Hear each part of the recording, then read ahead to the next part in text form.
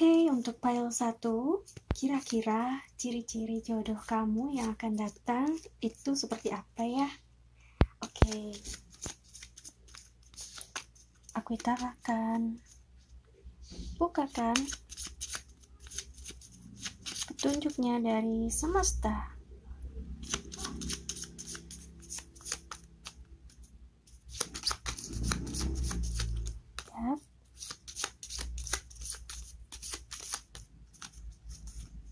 By feeling aja ya teman-teman.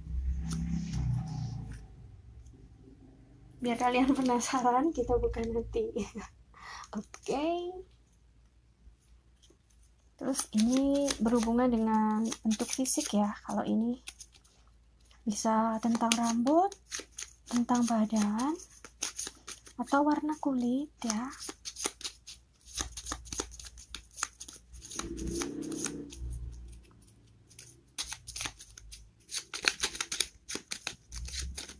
okay.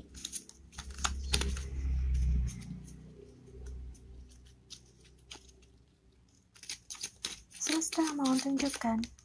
Oh. Ya kulitnya kekuning-kuningan gitu ya teman-teman.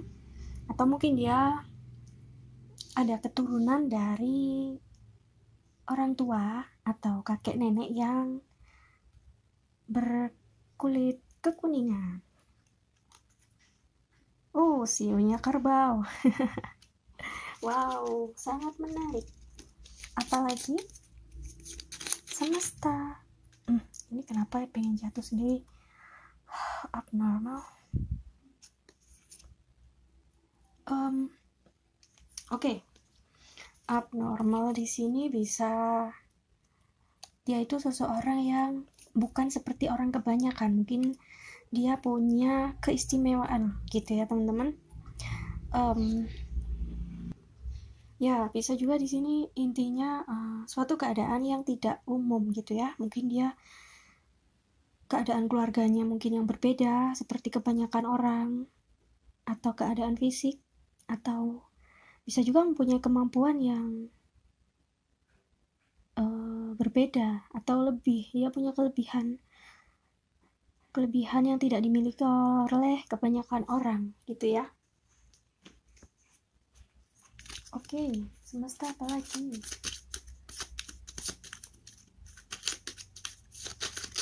oh. oke rambut panjang. Kalau ini bisa cewek ya. Kalau cowok ada nggak sih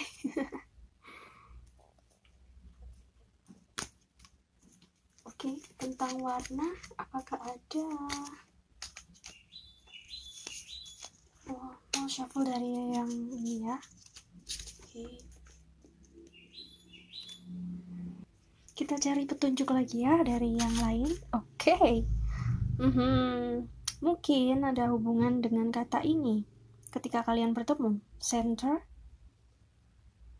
Atau mungkin dia berasal dari daerah atau tempat yang dia berhubungan dengan kata center ya atau tengah ya teman-teman. Tapi ini lebih ke kayak center sih. Uh, bisa contohnya center atau sentral bisa ya. Misalnya Central Java Central Asia ya. Bisa juga kan kalau long distance relationship. Uh, apa pun bisa ya yang berhubungan dengan kata center oke. Okay.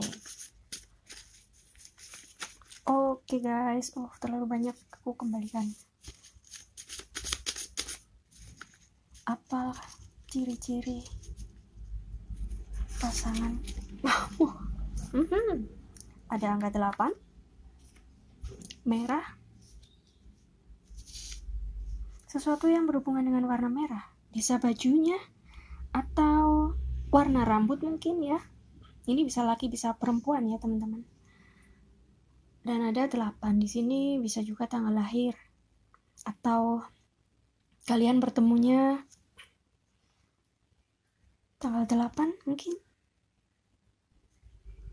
Bisa juga ketika kalian di seperti tempat umum atau customer service kalian dapat nomor 8 atau dia atau jam 8 whatever apa pun ya yang berhubungan dengan angka 8 atau bisa juga guys ini kan bulan 8 kan ya? Pas banget nih. Mungkin bisa juga sebentar lagi. Bisa juga mm, 8 jam lagi atau 8 minggu lagi atau bulan ini ya paling akhir akhir Agustus ya. Oh, oh. wait oh ini putih Hmm, sepertinya orangnya tulus ya. Bisa juga ini agak kurus juga orangnya. Kalau dihubungkan dengan yang abnormal, di sini ada putih. Bisa berarti dia itu orang yang alim, jadi spiritualitasnya tinggi atau hmm, apa ya sedikit agamis mungkin ya. Orangnya nggak banyak petakilan. Kayaknya orangnya hmm, sedikit bukan di, dibilang pendiam itu nggak pendiam juga. Maksudnya hmm, lebih ke cool jadi kalem. Orangnya nggak banyak. Gerak. Jadi anggun gitu ya teman-teman. Semesta pesan apa lagi Oke.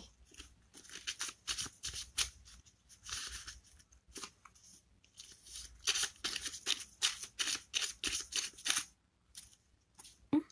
Why? Oktober? Februari. Oke okay guys, ini bisa tanggal lahir salah satu dari kalian.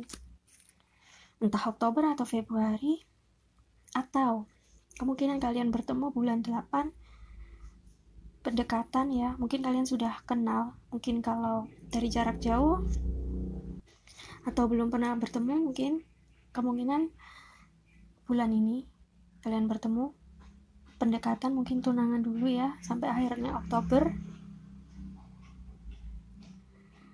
Oktober kemungkinan uh, bisa traveling bareng-bareng gitu ya dan nanti kalian uh, kemungkinan akan menikah di bulan Februari.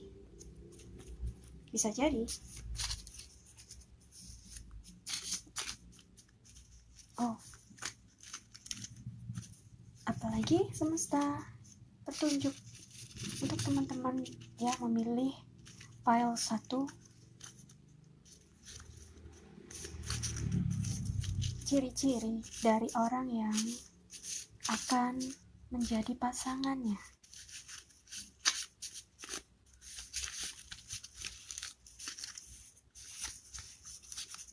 Oke. Okay.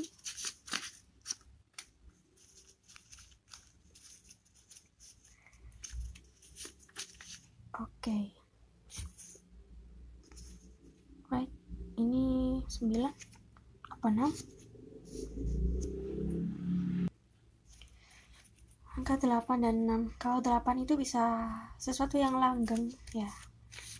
Um, kalau 6 itu dia hmm, bisa kemungkinan ini pilihan yang pasti udah pas jadi kayak dia udah bener-bener uh, mapan dia memilih kamu udah nggak ragu lagi gitu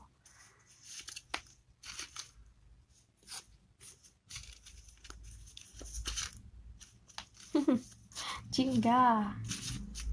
Ada apa dengan jingga? Hijau. Mungkin warna favoritnya hijau? Jingga atau sesuatu yang berhubungan dengan warna jingga dan hijau ya teman-teman. Mungkin kaosnya waktu kalian ketemu. Atau apa ya mungkin di tempat kalian bertemu itu familiar kalian nggak asing dengan kedua warna ini mungkin seperti itu ya dari barat Hmm. Hari lahirnya itu uh, Kliwon. Oke. okay. Senin, Selasa, Rabu, Kamis atau Jumat atau Sabtu atau Minggu bisa ya kalau kliwon bisa apa aja? Ya namanya juga permainannya teman-teman. Kalau nggak resonate kan nggak apa-apa. Kalau nanti resonate beberapa waktu lagi kalau misalkan ada yang cocok kalian komen di bawah ya. Ya lanjut lagi. Oh. X. X. Bisa oh. X ini bisa dari orang masa lalu ya bisa. Atau namanya ada yang abjad atau hurufnya ada kata X nya kali ya. K dan F. Frederica uh, Federline mungkin Vina hmm, fine. Kalau aku melihat sih ya bacanya itu oh apalagi ya? X kalau X ini bisa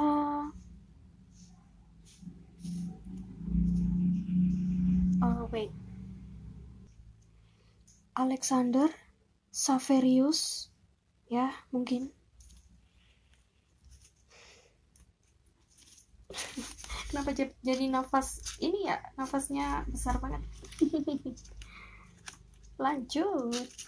Oke okay, tunjuk apa lagi semesta?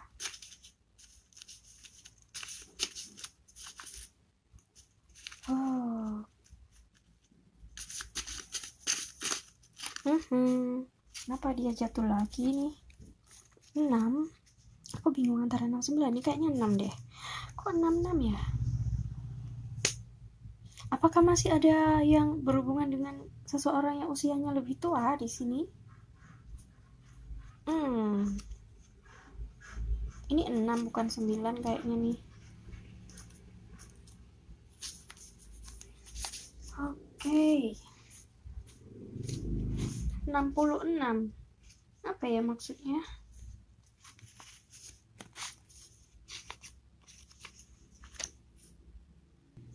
Oke, misalkan ini 9. Hah, bisa juga nih ya. Kalau nggak dia tahun 69, aku balik nih. Dia tahunnya 96, sorry guys. 96. Ya, jadi 69 bisa atau 96 bisa. Tahun kelahirannya mungkin ya. Atau sesuatu yang berhubungan dengan angka tersebut. Dengan angka 8 bisa aja ya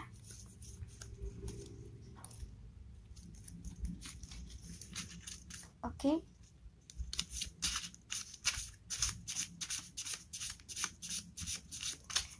adakah yang lain lagi semesta mhm. lima uhuh. lima peru oh my god aku dapat kata Felix bisa kan ya teman-teman? F sama X. Apa lagi? Hmm. harus aku pause nih biar aku bisa tahu ya. Ini ada five. Uh, five itu ada five ada F fine. Five ya. Five of wands maybe. Ya mungkin dia sebentar lagi akan komunikasi dengan kamu ya.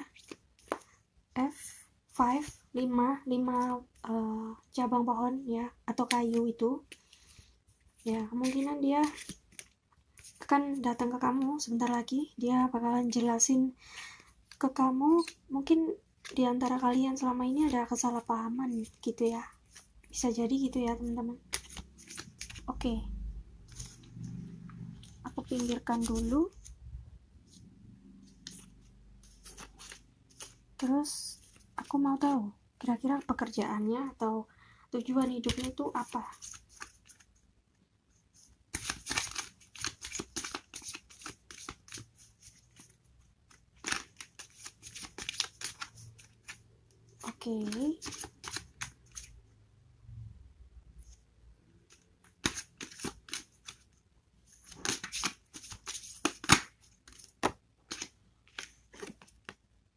Oke. Nutrition seseorang yang mungkin pekerjaannya berhubungan dengan uh, nutrisi. You conduct healing work with your culinary skin skills. I'm sorry. Oke okay, seseorang yang bekerja mungkin dia chef atau juru masak di suatu tempat uh, atau warung atau tempat uh, mungkin di rumah sakit ya teman-teman. Kalau aku lihat ada beberapa ya hmm, atau dia bekerja di luar negeri mungkin di seberang seperti negeri seberang bukan di negeri Indonesia. Mungkin uh, dia jadi TKI ya. Mungkin dia menjadi asisten rumah tangga gitu ya. Dia pinter masak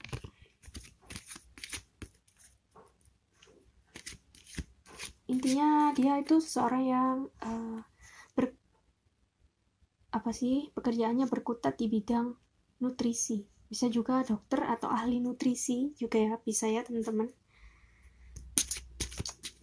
Tidak menutup kemungkinan uh, ada beberapa sebagian dari kalian dia itu punya usaha di bidang kuliner. Kalau aku lihat di sini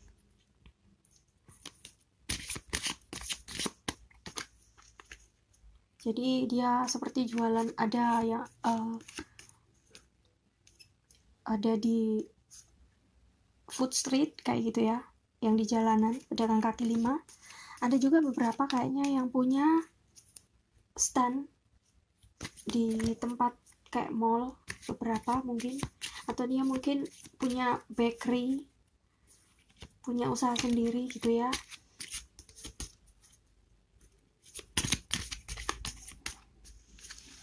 sedikit ada beberapa saintis. Jadi kayak seorang ilmuwan yang khusus untuk uh, apa sih dia itu spesialis di bidang nutrisi atau makanan gitu ya.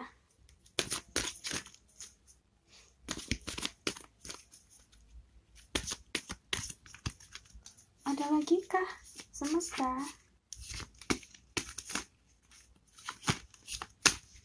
Oke. okay kalau bintangnya ah, aku melihat di sini kayak Cancer atau Virgo ya. Scorpio Libra uh, Leo Aries. Tapi yang kuat Cancer ya teman-teman sama Virgo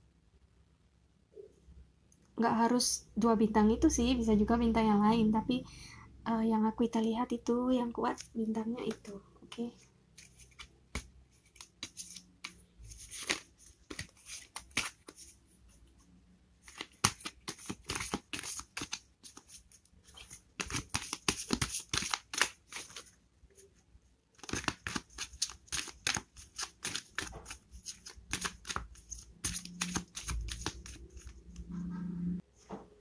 Hmm, apalagi nih? Oh ya, terima kasih.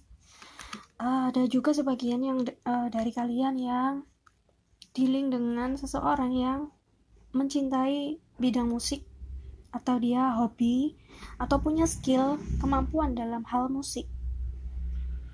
Ya. Gitu ya, teman-teman.